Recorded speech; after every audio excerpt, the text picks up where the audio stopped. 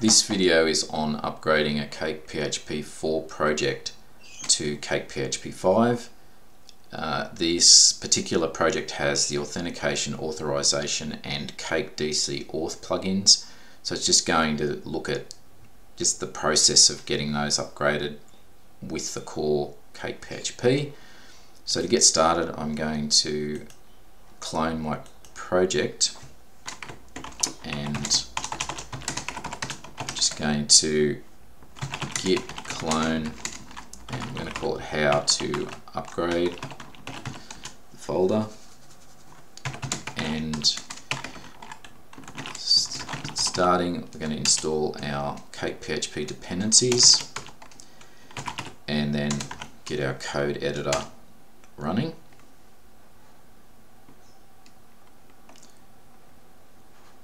So we have go bin cake version uh, we can see immediately that we've got some sort of deprecation warning here. So let's handle that. Fortunately a lot of the de deprecation warnings already have a web link. So this is uh, going to take us to the migration guide here. And then the particular error message you might have to search the page but it's this one here. It's basically saying that we replace usage of these two classes with these new error trap classes. So I'm just going to open config bootstrap and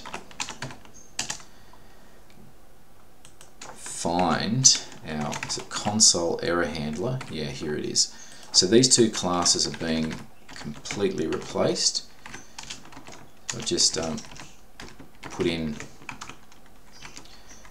and find the ones we're placing here and just replace them. So now if we go back we should just see that we're now at cake 4.4.10 and the next step we'll need to take is to upgrade immediately to uh, 4.5 point whatever it is so if we go composer upgrade pull in our latest dependencies there. Now this project uh, has a migration and some seeds. So if we have a look at bin cake migrations status we can see here that we currently don't have a database configured. So we want to go in and find our app local and we want to define a database. We're not going to use MySQL, we're just going to use SQLite for this. So I'm just going to copy the complete test URL and then modify it to be, and in fact we don't need any of that, it's just hard coded. So let's have a look at now whether we're happy, yes, so let's run our migration and then we want to run our seeds. Uh, in this particular case it's saying that there's an error, it's saying that the way the seeds are currently declared is wrong, so we just need to uh, update them so they are correct. So we go here, we can see our code editor is complaining as well. So we want to just put the correct function definition there and it will now hopefully work. So once we've done that, let's run our development server and we can go to and obviously I've logged in before but let's log in again and you'll get an invalid cookie when you do that but now we're we're logged in. So we can see here we're at cake version 4 let's double check that. We open up our terminal. And we go bin cake version? We're at 4.5.1 and so now how do we move up to the next version. Well, what they recommend, if we go to our documentation here, let's go here, and we've got migration guides for each version, but we go to our 5 book, we go to migration guides, and then we click on upgrade. And it says, first check that your application is running the latest Cake 4 version, which we've done. Then check that we have eAll as an error level in our app. Config app, close that. And here we are. We just search for that. And we do, that's good. Now the next step is saying that we want PHP version 8.1, which is fine, we do. And then it's saying we want to run an upgrade tool. So this is going to automate some of the changes. So I'm just pasting that into my project there and it's going to create a little upgrade tool in the upgrade directory. And then it says, okay, against your project, run these commands. So I'm going to run these commands. Before I do that, I might just commit uh, pre-director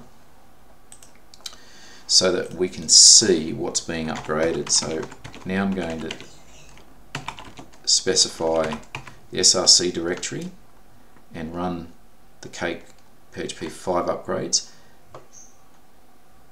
Okay, and you can see, if you look, you can see that there's been significant changes to how things are defined. So we're no longer using configuration arrays, uh, we're using named parameters for this get statement here. There's different classes that are being inserted as well and a number of types are being added. So we do that for both the Chronos 3 and the Cake 5 rule sets. Home dev how to upgrade SRC. Right. And some of the upgrade rules don't get applied because you don't have those things in your project. So in this case, Chronos hasn't done much at all. Once that's done, done, you can remove the upgrade tool and then we can move on to uh, our further upgrade steps. Now it's saying have a look at the Cake PHP Composer JSON skeleton and make it the same. So the way to do that, or the way I've, I've found I like to do it, is I just paste in the newer bits and then delete the things it's complaining about being a duplicate. So you can see that we're going up to four in migrations, we're going up to two in plugin installer and a big jump in mobile detect as well. So once that's done, that's our uh, require section. Now we do the same uh, with our require dev section. And so if there's anything that's not duplicated, don't just don't delete it. So code sniffers and see and we now have that. Now we've still got these sections here that uh, need to be fixed as well because they, they aren't part of the default skeleton. So we need to find out what versions these need to be at. And to do that uh, we can go into let's go here so we can see where we need to go from whoops. Alright so we go into the 5 book and we go into tutorials and examples. And these are our authentication and authorization plugins and this is how you'd normally install it but this is the version that you want for Cake PHP 5 so I'm just going to change both of these because they're both at this same version 3 so just put that in. Now if we try to do that now if we go composer upgrade um, what will happen is it will complain that Cake DC auth is not happy. So I'm just going to delete that for just temporarily and complete the upgrade and that, that brings everything up um, to the correct versions now. And if we go bin cake version, uh, it's going to complain because uh, there's a undefined function here which we'll handle in a minute.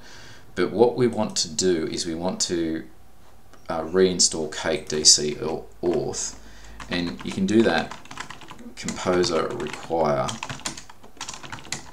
cake DC auth and that will then go out and find the correct version for Cake PHP 5 without you actually having to specify it.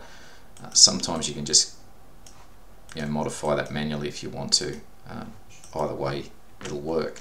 So now we have everything um, working except we've lost something with the upgrade to Cake PHP 5 and, and this env function it's saying it's undefined now. So if we have a look at the documentation uh, and go right to the bottom of constants and functions, these functions used to be global but they no longer are. So you now need to by default um, add this to Bootstrap PHP. So we need to go into Bootstrap PHP and if I search for this env function and find the first instance we want to require the functions just before that first call so you won't have issues in the future with with the env function so I think it's used actually yeah so it's used uh, on line 165 in this case. So just put it before that and then you should now be able to say okay we're now on PHP version 5.0.2 so once all that upgrading is done let's restart our development server and go back and see if we can get a web page up and the next error is it's saying that there's a problem with exception renderer. So we need to figure out why that's a problem. And if we have a look at, we'll go over here and we go to the book, the number five book, to the migration guide and do a search for this particular class. It says it's been removed and needs to be replaced with web exception renderer. So we go into, I think it's, yeah, into config app PHP. So we go app PHP and do a search for exception renderer and we can find that it now needs to be changed to web exception renderer. So just change that and if you have a look up here you need to change the use statement if your editor doesn't do it for you. But that would now give us the error message removed. We will take this away, but now we've got another problem, and this time it's request handler component. So going into our migration guide again and searching for that, we find that it's been removed as well. So we're going to have to remove that. If we go into our uh, search here and look for it, you won't find it because it's actually in cake specified without the component bit at the end. So we need to then just find that load component statement and just remove that request handler component because it's no longer used. And theoretically, now we should have uh, a nicely uh, formatted page on version 5. Now there is an issue here. If we have a look into our index page for this post controller, let's have a look at that. So we want to go and grab that. So let's go posts, controller, and index. Now at the moment it's done the rules to so-called upgrade, but this is old code here.